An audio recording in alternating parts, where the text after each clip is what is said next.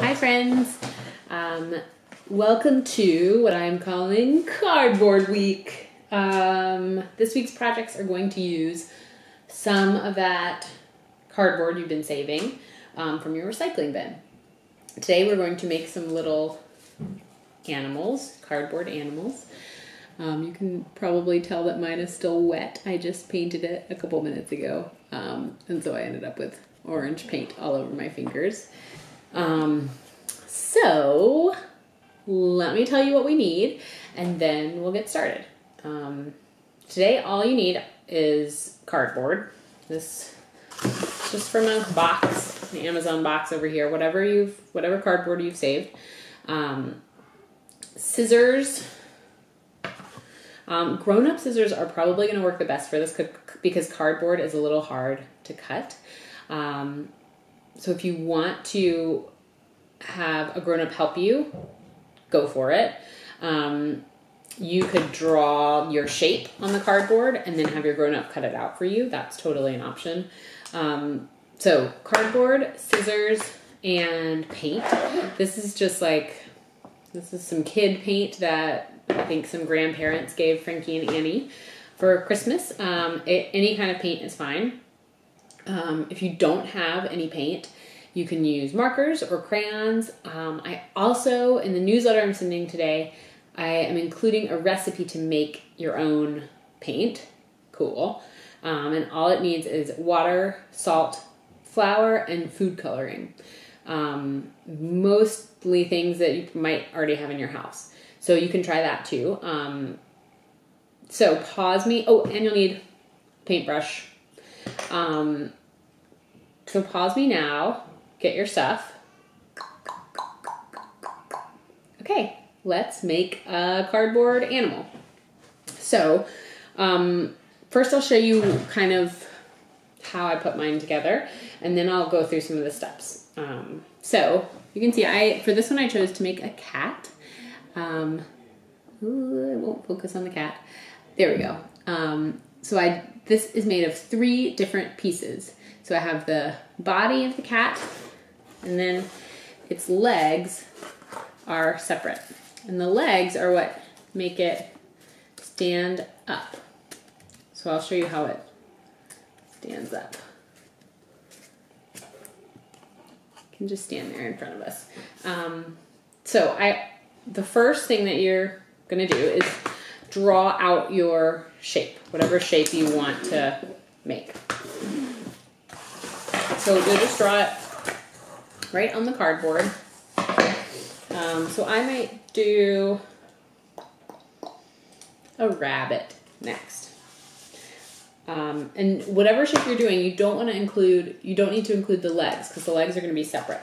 So I'm going to just draw it right here on the edge of my cardboard. Let me see if I can hold it up so you can see what I'm drawing. So the bottom, here's the tail a little head with the ears. So that's kind of my rabbit shape. Um, see how I, so I started on the bottom of the cardboard, so I, that's one less cut I have to do. Um, and I didn't include any legs or feet. So then I'm going to take my scissors and carefully cut it out. For me, it's easiest, it's easiest to cut it out um, from the big piece first so that I don't have all that cardboard to get in my way. Um, so once you have this, just kind of cut around your outline and it's cardboard is a little tricky to cut. So it's, it's not going to be perfect and that's just fine. Um, you can also, you don't have to make an animal. You could make this a car. You could make a um, person. You could make an alien. You could make something abstract. Uh, whatever whatever speaks to you, whatever you're into right now. Um, you could make a bunch of stand up fruits and vegetables that parade around your kitchen, whatever you want. Um, so once you have your animal body,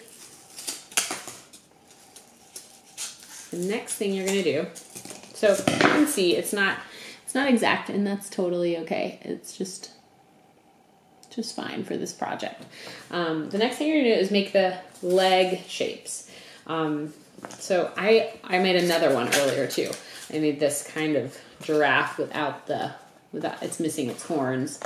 Um, and this was the first one I made, and you can see the legs are kind of different lengths, so he's like leaning leaning over a little bit.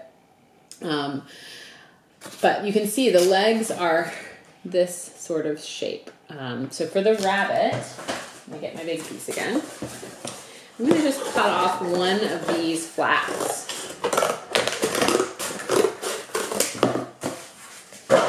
And because the rabbit is a lot smaller than a giraffe, I'm going to, um, I'm not going to use such a big, tall piece for the legs. So I will just cut out, um, I'm to cut out one and then I'm going to measure against my next piece so that they're the same. And then um, you'll cut a little, little triangle, very skinny, skinny triangle um, on one end. That's going to be the part that goes onto your animal's body. Um, and this is a little tall for a, for a rabbit's legs, so I'm going to cut it a little shorter. And then um, if you want, you can leave it flat at the bottom, or you can make another cut to give it two separate legs. Oh, and my cuts are too close together, and it's kind of falling apart. So let's try that again.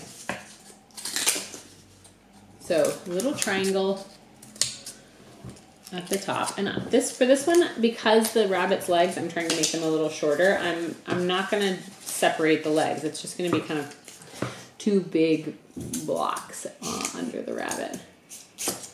Um, and then you can just slide these on. Uh, oh, I forgot one step. So I'm going to do two little snips on the rabbit's body. Sorry, you can't really see that.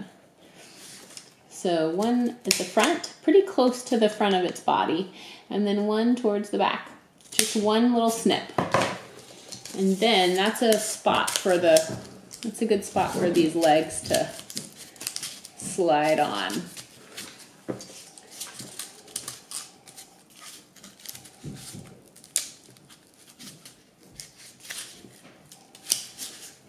Okay, and then you have a little kind of funny, oops, mine are off, mine are not the same length.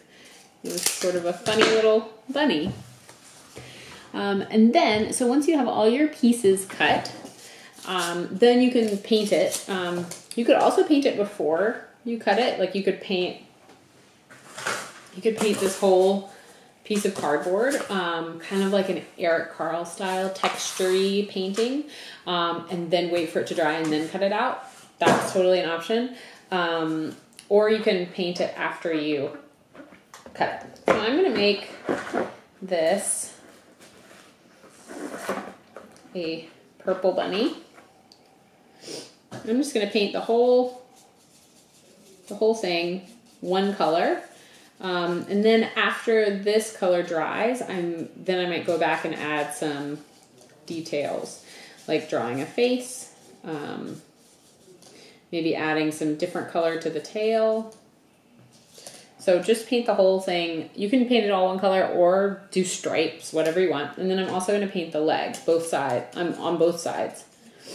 So if you want, you can do one side and then wait until it dries and flip it over. You could also do it um, on, you know, an old piece of newspaper or something, or one of these extra pieces of cardboard. Um, if you or your grown up is worried about getting paint on the table um, since we're not at the studio with the painty tables. So once these pieces are dry, then you can stick them together, like I did the cat, and have a little creature. Um, I it's kind of rainy today, um, but I'm thinking once it's nice outside, I might uh, set up some little photo shoots with my animals in the yard, um, going on some adventures. I also thought it would be fun to do kind of like a stop motion video with them. Um, so I'm excited to see what you make. Please uh, have your grown up send me a picture or a video. Um, because it's so cool to see what you guys are making. It's so much fun to connect with you, even in this weird, kind of wacky way. Um, and then I'll see you on Wednesday for some more art made from cardboard. Bye, guys! Thanks for doing art with me! Bye.